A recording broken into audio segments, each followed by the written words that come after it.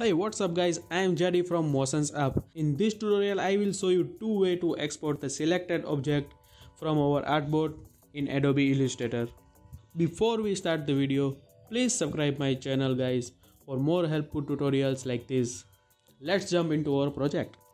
I have these three beautiful flower pots in my artboard. I want to export the middle one for the, my project. I don't want to export all these designs I only want to export this middle one. Let's try by select this middle one and export it.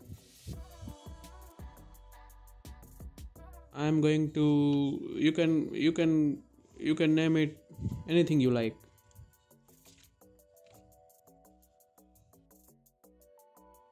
As you can see that in spite of selecting only middle, all the objects are exporting from artboard. Let me show you by export it. You can see the issue.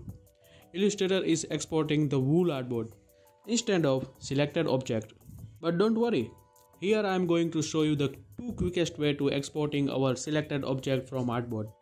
First way to export our desired object from artboard, we need to copy our selected object.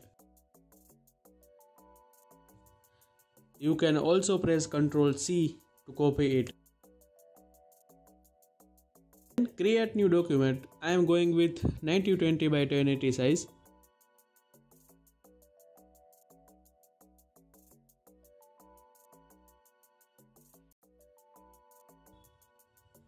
Now we are going to paste our selected object here. You can use ctrl v to paste it. Now select this object and let's try to export it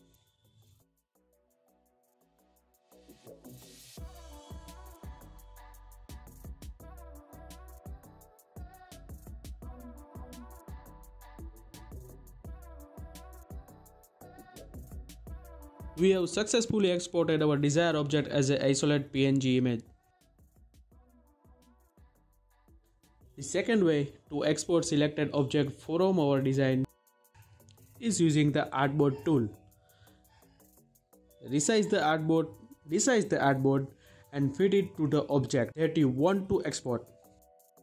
I want to export this middle one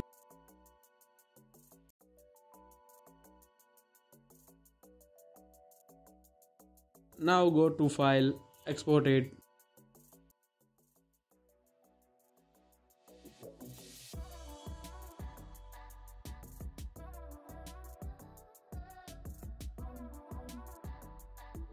Don't forget to check use artboard option.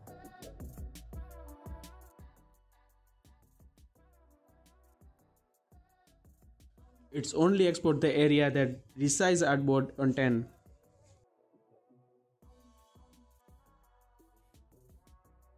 so that's it hope you guys found this video helpful please like and share this video and don't forget to subscribe my channel for more illustrator related tutorials and tips and more thank you and peace